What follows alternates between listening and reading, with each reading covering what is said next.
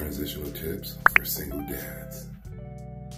Comment below, smash that like button, and subscribe now. KB the Behaviorist here with another session.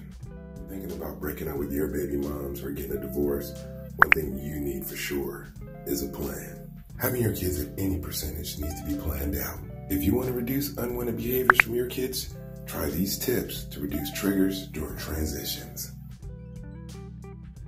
Fellas, if you have a bitter baby mama, best believe your kids are being interrogated when they leave your house, which makes it all the more important to implement these tips. Number one, control the environment.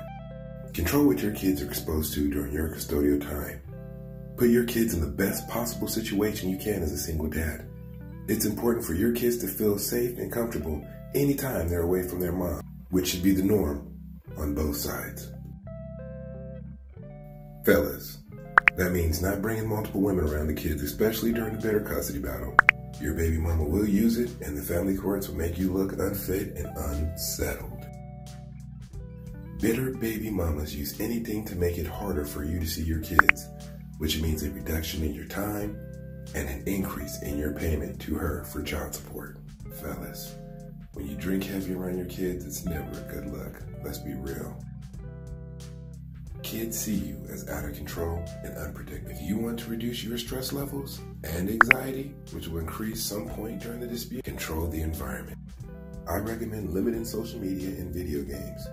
Good old-fashioned conversation, board games, bike rides, parks, and all other fun things to do with your kids. If you're a busy dad, I recommend implementing things such as sports, fine arts, reading, exercise. Filling out your child's day is key. It also looks good to a judge when you have a sound routine for your kids. This one, guys, is an important one. Number three, consistency. Making sure that the kids stick to the structured plan by keeping things consistent as possible. Changing schools or living arrangements must be kept at a minimum if you're trying to get custodial time. Follow through. Having tangible goals and rewards will keep kids engaged. A child in a bitter custody battle needs structure, consistency, and follow through to reduce unwanted behaviors. Fellas, what do you think? Comment below, smash that like button, subscribe now.